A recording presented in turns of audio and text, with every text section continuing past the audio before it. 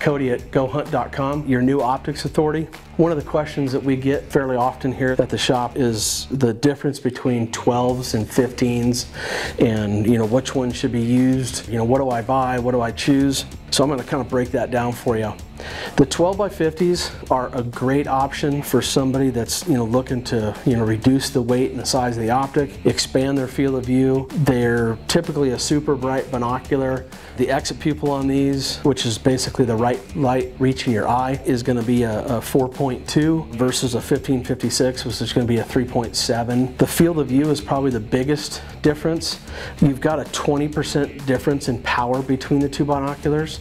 So you're at 12 power and 15 power. Basically, it's what your eye sees and it brings it 12 times closer, or what your eye sees versus 15 times closer. So what that does is, is that a, uh, if you're talking about field of view, brings the animal closer, but it brings in the field of view. So the 1250 uh, generally has a 300 foot field of view and a 1556 generally is in the 235 foot range field of view.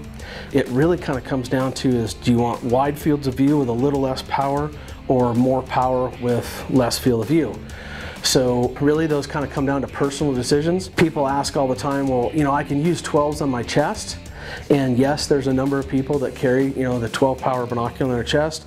I will tell you that um, just be a little careful with that, only from the standpoint that 12 powers on your chest or hand holding are going to be more shaky than say a 10 or an 8 power.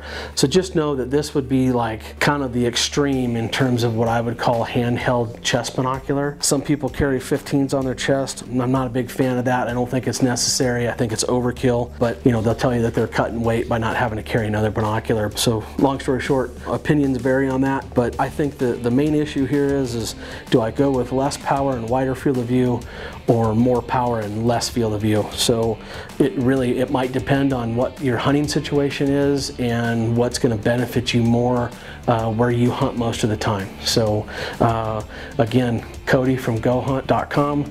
And if you have any questions or want to leave comments, direct any questions to um, optics at gohunt.com. Thank you.